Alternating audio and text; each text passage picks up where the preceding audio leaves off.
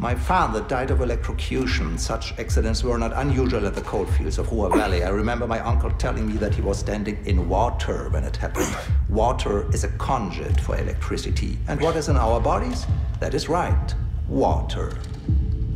When I press this button, electricity will flow through your body, carried by this water, and it will cramp up and you will feel the most intense pain you've ever felt in your life. If you do not want to feel this pain, which is completely understandable, you need to answer my question without hesitation. So, who is your contact in the village? Claus. Who is this Claus? Santa Claus.